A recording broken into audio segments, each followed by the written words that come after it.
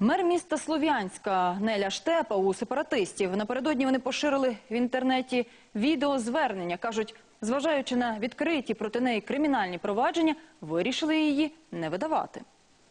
Мы решили Лилию Игоревну никому не отдавать.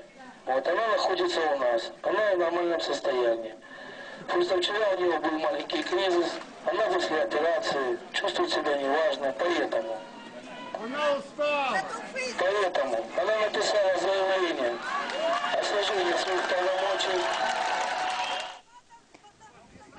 Нагадаю, СБУ підозрює мера Слов'янська у зазіханні на територіальну цілісність України. Минулого тижня Неля Штепа вітала загарбників у себе в місті, а сепаратистів назвала своїми хлопцями.